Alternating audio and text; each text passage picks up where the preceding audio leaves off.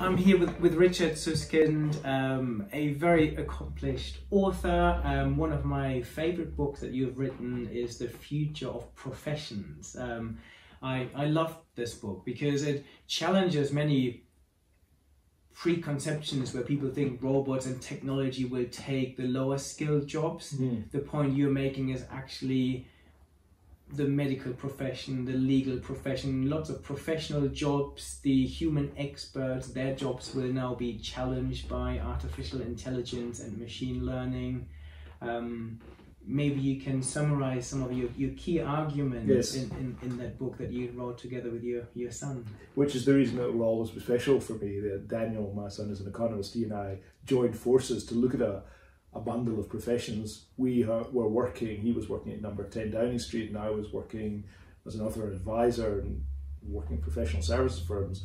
And we had this sense that the changes being brought about because of technology were not limited to one or two professions. Every profession was going through similar changes. So we thought, why don't we go out and speak to the market leaders, the, the thought leaders, the the startups, the disruptors, and find out what's going on in medicine and law and architecture and audit, tax consulting, in education, um, in journalism, and even in the clergy. So we looked at all these professions, and the broad theme we found was this: that as regards technology, there were two different phenomena coming through, two different futures.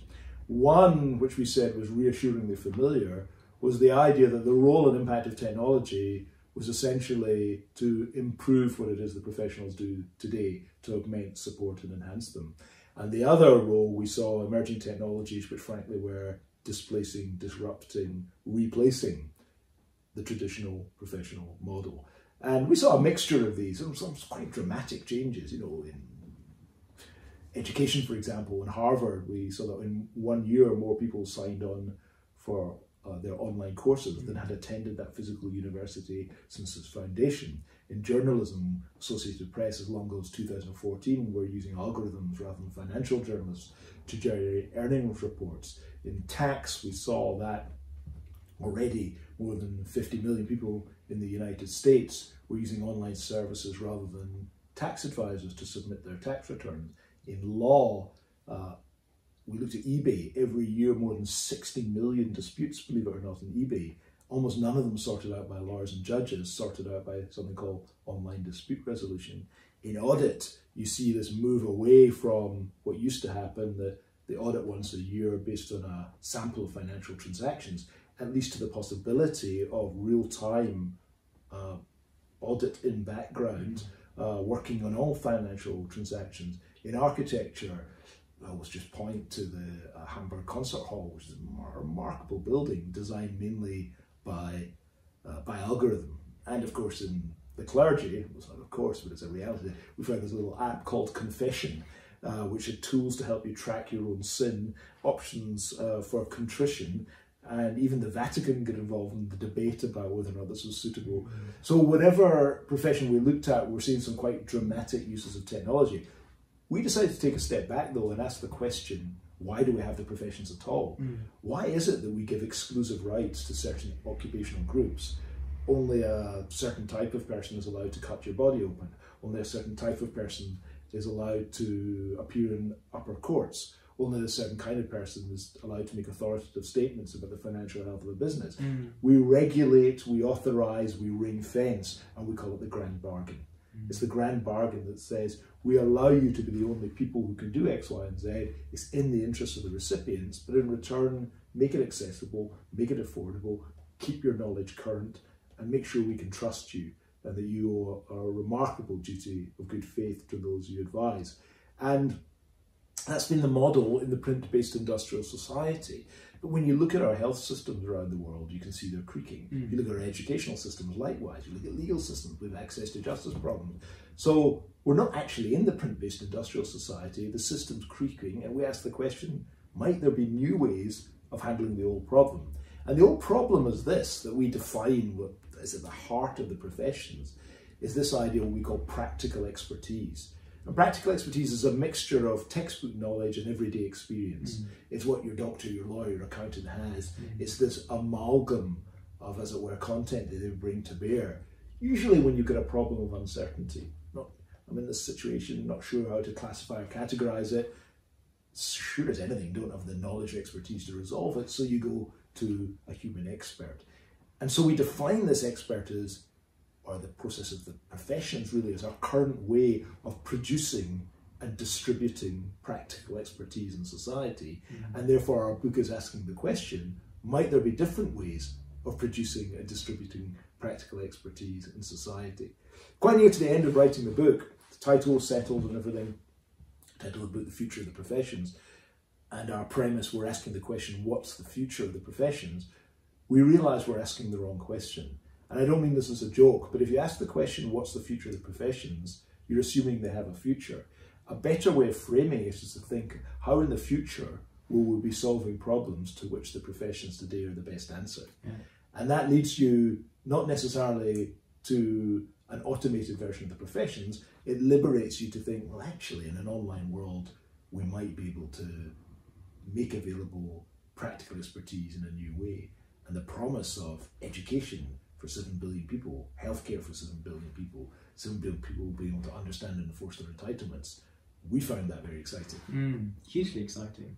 And, and you see this happening already in lots of industry in healthcare and education yes. where there are hugely popular apps, yes, tools. It is very interesting though that people often say your book's very pessimistic.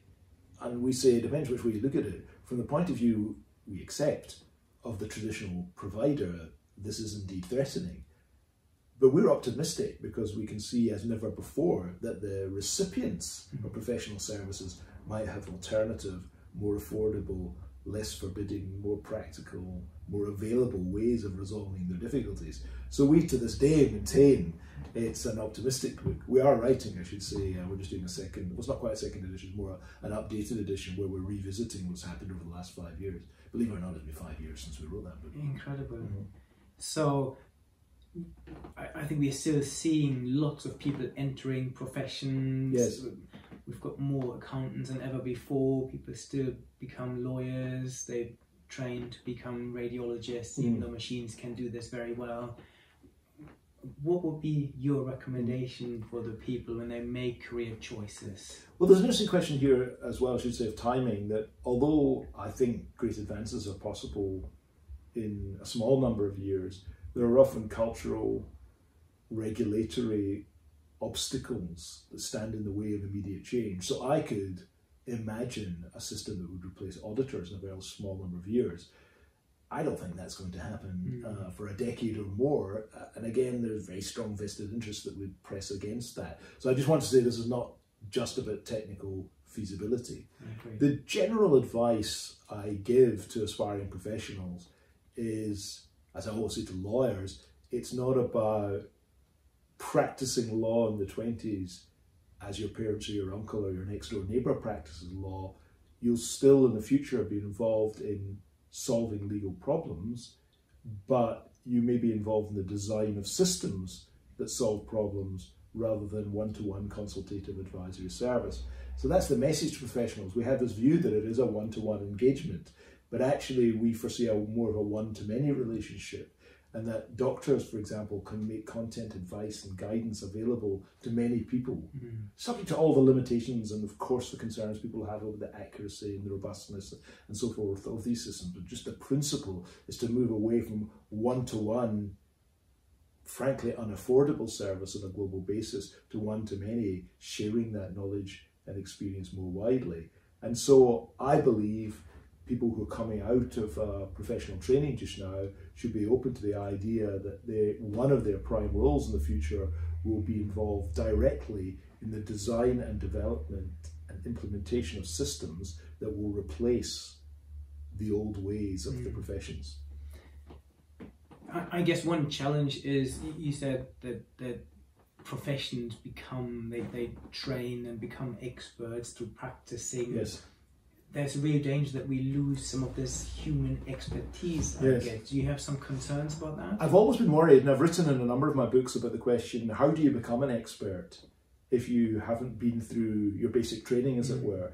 Where do you cut your teeth? Yeah. It's interesting. I, I interviewed some young lawyers about this, and uh, went to visit them in a big city firm, and they were doing huge document review exercise, and I said, if this was done by machine, how would you learn to do it? And to a person, they said the same thing. They said, we get this after a couple of days. We don't need to do it for a couple of years. So I often cynically say, don't confuse training with exploitation. The reality is, as long as the market's prepared to pay for young lawyers to do these major reviews, law firms are prepared to recruit and train individuals in great numbers. But I think this leads us to, in fact, one dimension of the book, which is fundamentally rethinking training. Mm.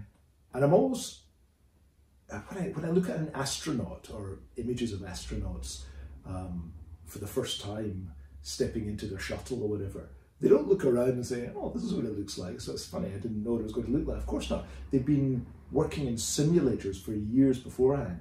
And I think we need to do the same in the professions. I think we need to create simulated practice environments, huge learning environments, uh, virtual environments, in which I suspect we can expose young professionals to a far wider range of possible experiences. Mm.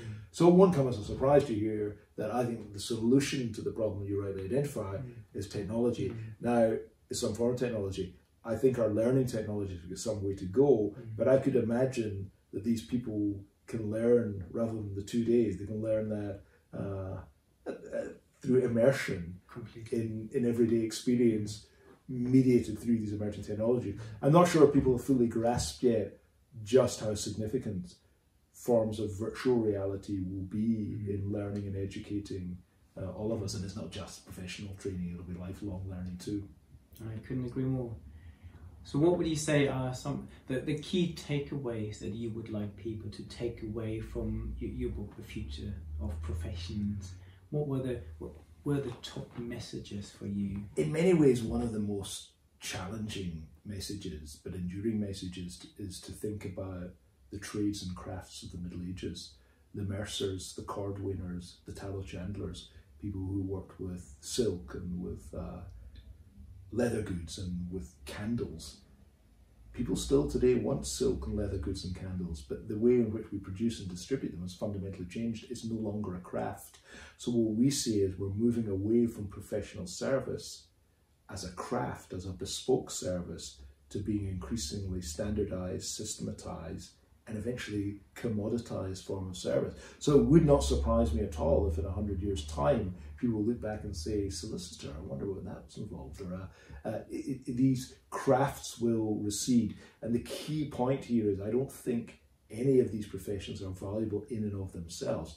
They're only valuable in the consequences they bring. Mm. Better education, improved health, understanding of rights and entitlements, better business. Mm.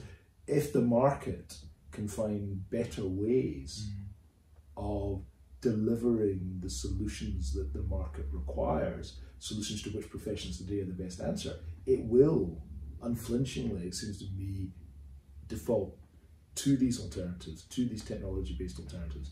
So for those people who say for their children, you'll always be safe in the professions, I think if you're thinking of 20th century professional practice, you've missed the point. Mm. However, it seems to me for the foreseeable future, but not for all time, uh, uh, the attention of the profession should be turned to replacing the old ways of working with advanced systems that are appropriate in a digital age. Very good. Thank you so much. It's a great pleasure. Thank you. Fascinating. Thank you.